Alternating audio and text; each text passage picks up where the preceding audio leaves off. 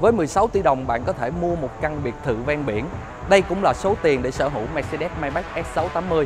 Vậy mẫu xe này có gì đặc biệt để đắt đến vậy?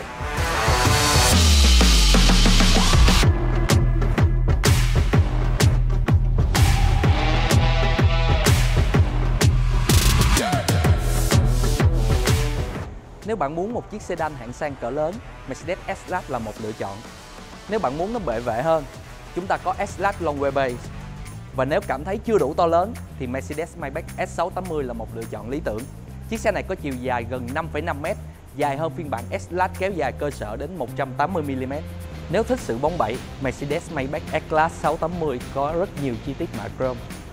Không còn multi-beam LED, thay vào đó là công nghệ Digital Light với khả năng tự động điều chỉnh góc chiếu, phát hiện biển báo và tránh làm chói mắt người đi ngược chiều. Xe được trang bị bộ mâm 21 inch, đa chấu có thiết kế như những ly champagne.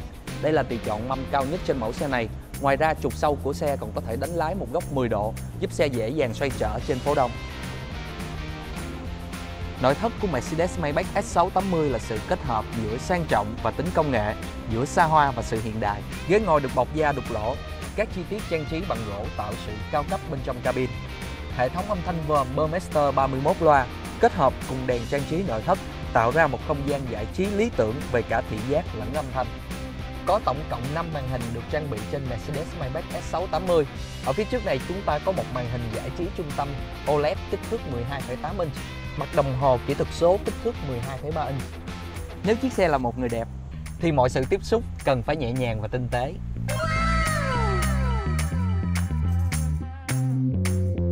Tuy nhiên đây chưa phải là vị trí đầy tiện nghi nhất trên mẫu xe này. Từ vị trí ghế ông chủ, bạn có thể điều khiển mọi tính năng trên xe chỉ thông qua một nút bấm.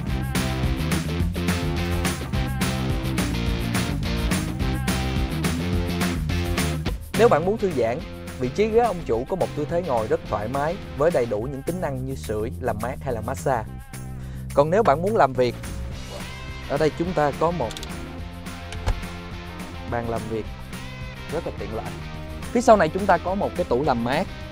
Chúng ta có thể đựng champagne, có thể ngồi với đối tác hoặc là bạn bè để thưởng thức. Mercedes-Maybach S680 được trang bị động cơ V12 6.0 lít cho công suất 621 mã lực và mô men xoắn 900 Nm, kết hợp cùng hộp số tự động 9 cấp và hệ dẫn động 4 bánh toàn thời gian.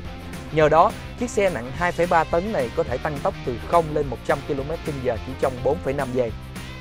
Với giá bán chính hãng 16 tỷ đồng, Mercedes-Maybach S680 dễ tiếp cận hơn và rẻ hơn khoảng 10 tỷ đồng so với những mẫu xe được nhập khẩu tư nhân. Giá bán này cũng rẻ hơn so với những mẫu xe như Rolls-Royce Golf hay là Bentley Flying Bird à, với giá khoảng 20 tỷ đồng.